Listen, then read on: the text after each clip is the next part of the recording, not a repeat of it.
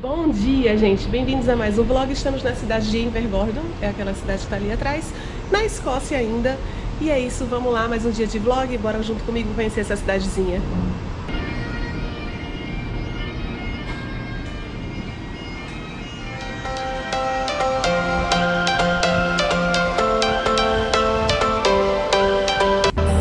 Gente, acabei de sair então do navio, o navio ficou ali atrás e só indo em frente na rua a gente já chegou na Invergordon Parish Church. Ela foi construída em 1861, então assim, em 2011 ela fez 150 anos, então... E dá pra ver da cidade inteira essa igreja, muito fofa, e eu vou mostrar pra vocês agora. Tá chovendo, então eu troquei o casaco, né, não todo de casaco de couro, coloquei esse aqui que é mais quentinho, e a gente vai ver agora então a igreja. Baby, you and I should start living now. With the whole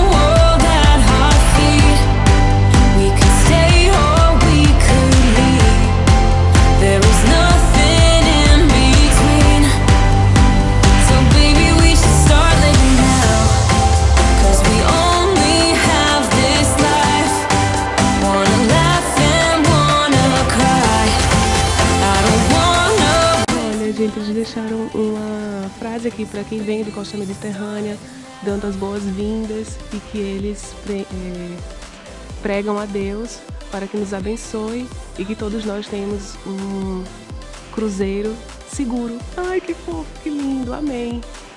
Amém, amém. Olha, tem tipo uma Bíblia em cada local aqui para se sentar. O que é bem legal, a pessoa pode vir aqui, tem culto, olha o órgão. Que coisa linda. Então você pode vir pro culto, vai ter a Bíbliazinha aqui. Amei. Muito fofa essa igreja.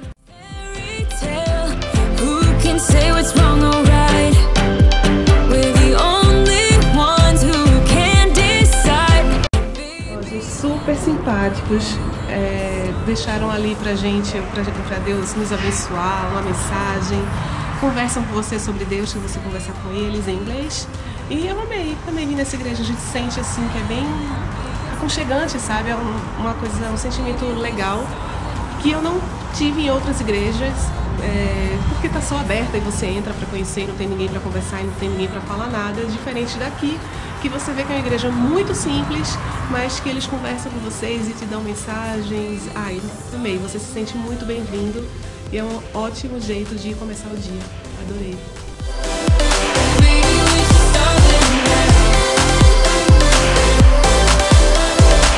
Ó, galera, achei meu primeiro mural, a primeira pintura. Invergorda é conhecida por essas pinturas. Está na rua da igreja, a igreja está ali.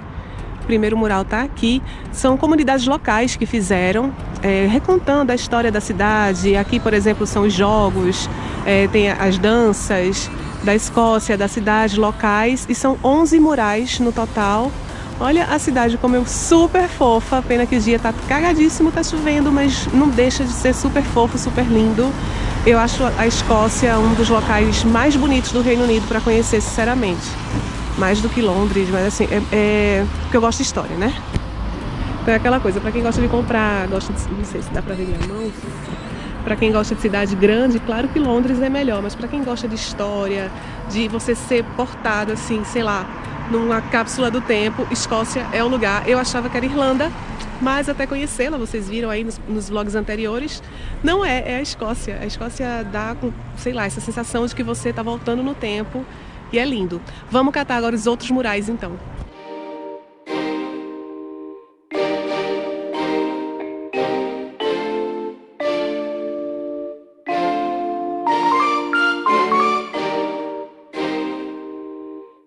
Catando os murais e vendo as lojinhas, as coisas para vender. Olha que fofo.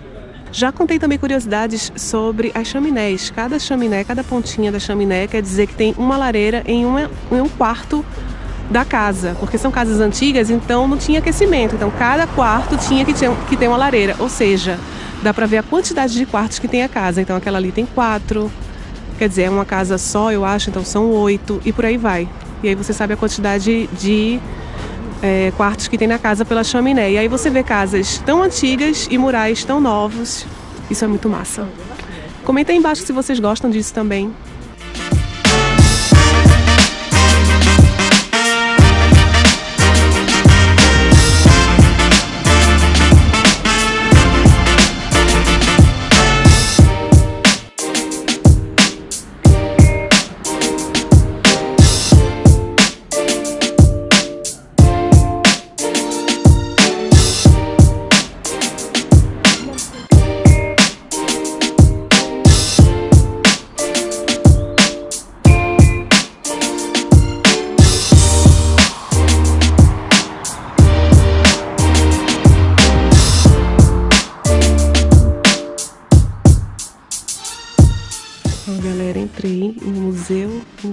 Por doações, ele é grátis.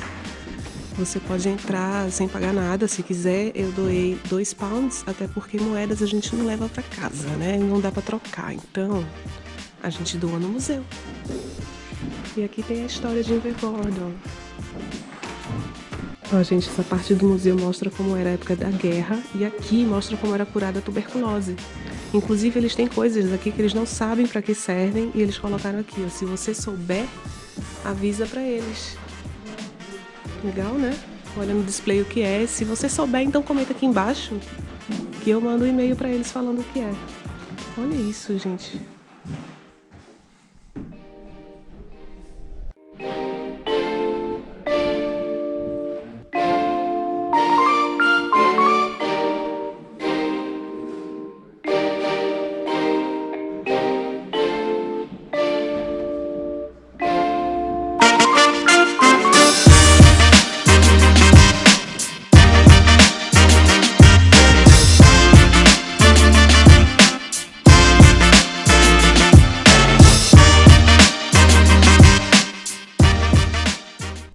E olha, isso aqui é um jornal da época, Inverness Courier, que fala sobre o, o Titanic, falando que ele afundou, The Ocean Disaster, não sei se dá pra ver, 1912, e aqui contando que o Titanic naufragou. Gente, estou passada, olha. Titanic Boats Questioning Parliament. Caraca. Bom, gente, aqui de Vergordon, o legal de vir pra cá com o navio é você comprar a excursão para ir pro Lago Ness. Eu fiz ano passado essa excursão, ela é linda. Eu vou deixar linkado aqui nesse vídeo, no final do vídeo, quem quiser conhecer o Lago Ness, que no ano passado a gente veio para essa cidade, eu não conhecia a cidade porque fui no Loch Ness, né, no Lago Ness. E é lindo, é muito lindo. Então quem vem pra cá, fica a dica, faz alguma excursão mesmo, porque a cidade é só isso que vocês viram, não tem mais nada. É muito fofa. É, para mim foi legal, porque eu fiquei curiosa quando eu vim no ano passado para saber o que tinha aqui e agora deu para ver o que tem. Para comprar é legal, é bonitinha, é uma cidade fofa, mas para quem tá o dia inteiro aqui, cara, faz uma excursão. Daqui mesmo da cidade tem excursões que saem de ônibus, mas olha o horário para não ficar, o navio não ir embora e vocês ficarem aqui, porque a maioria das excursões são do dia todo. Então dá uma olhada no horário. E os preços do navio não são tão absurdos assim, porque estão bem parecido, parecidos com os preços daqui. Ou seja, vale mais a pena ir com o navio, porque o navio ele espera o ônibus da excursão. Então é melhor. O Loch Ness eu já fiz, eu super recomendo, é lindo, vale a pena, mas tem outras excursões como Highland, Highlands ou Highlands daqui da Escócia, ah, tem excursões para castelos, enfim, no Loch Ness tem um castelo muito lindo. Ah, tô falando muito do Loch Ness, né? Então dá para notar que eu amei essa excursão. Então fica a dica para quem quiser fazer essa excursão aí.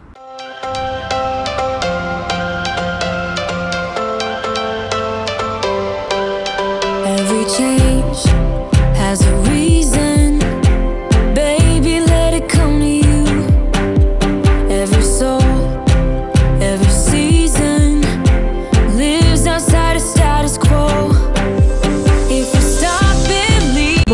estou voltando então pro navio. Olha só que ruazinha fofa. Essa rua aqui, tá vendo que o navio tá lá? É exatamente a rua que vai dar na igreja que eu falei. Só aí em frente aqui. Deixa eu ver se dá pra ver. Ó, ela ali no final. Então, é isso. Vocês conheceram Evergordon. Ela é bem pequenininha, basicamente é essa rua. é muito fofa. Ah, mas acho que vale a pena pegar uma excursão mesmo e ir para lugares mais distantes. Tem castelos lindos por aqui perto e o Lago Ness, que vale muito a pena. Eu agora vou voltar, vou almoçar com o Mateu. E é isso, tá bem friozinho hoje aqui, tá meio que chove no shopping. ah, aqui também tem uma igreja católica, só que não achei ela muito bonita assim, então eu não fui até lá, não andei até lá, preferi voltar para almoçar com o Mateu porque eu acho que não valeu muito a pena. Essa igreja paroquial vale muito a pena, inclusive para quem acredita em Deus como eu e gosta de conversar sobre Deus e ai, foi muito bom. e é isso. O navio tá ali, e agora, olha só que fofinha. Muito fofo. Tudo aqui na Escócia é muito fofo. E eu tô voltando pro navio então. We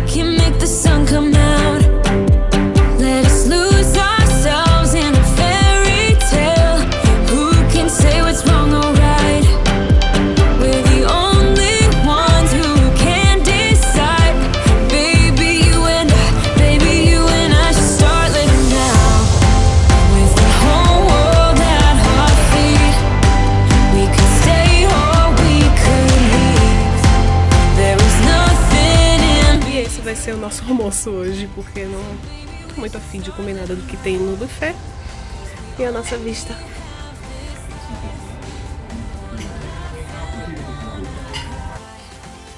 Bom, gente, hora do jantar já. Agora à tarde assistir filme na cabine com o Matheus. E agora vamos jantar. Olha só, vou comer então.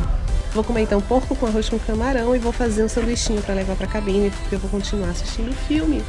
E aí mais tarde dá aquela fominha. E é isso. Tô aqui do lado do mar, o mar hoje tá tranquilo, tá calmo, tá chovendo. É isso aí. Bom, galera, e basicamente é isso por hoje. Então, vou jantar e vou pra cabine. Eu espero que vocês tenham gostado, tenham ajudado, tenham dado dicas. Deixa o seu like se você gostou, comenta o que você tá achando, segue o canal e é isso aí. Até amanhã, temos mais. Bom, gente, acabei de ir então no, no, ofício de excursão para comprar a excursão para amanhã. Então amanhã eu não vou de trem para Edimburgo, eu vou com o próprio ônibus da Costa. O que é uma dica, dá uma olhada se vale a pena os preços das excursões aqui, das excursões lá fora. Então antes de pegar uma excursão, antes de pegar um navio, dá uma olhada nos preços, dos trens, dos ônibus, quão lontano é, opa, a, a distância, falei italiano, e se vale a pena comprar a bordo. Acabei de pegar o diário de bordo, porque é aqui que eu vou ver o horário da minha excursão. E é isso, vou pra cabine descansar.